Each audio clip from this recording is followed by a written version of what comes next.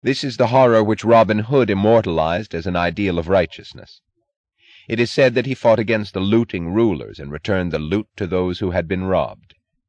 But that is not the meaning of the legend which has survived. He is remembered not as a champion of property, but as a champion of need.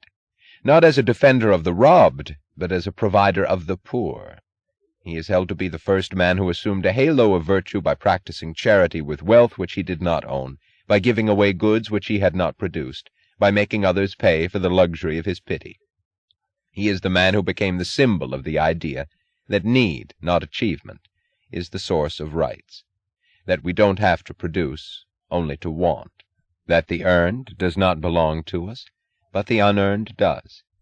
He became a justification for every mediocrity who, unable to make his own living, has demanded the power to dispose of the property of his betters by proclaiming his willingness to devote his life to his inferiors at the price of robbing his superiors.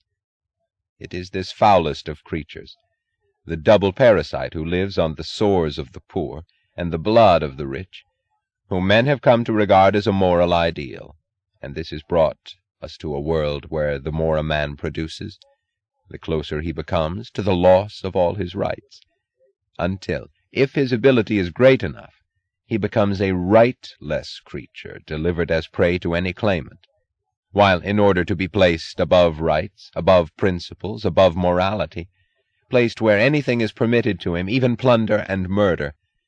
All a man has to do is to be in need. Do you wonder why the world is collapsing around us?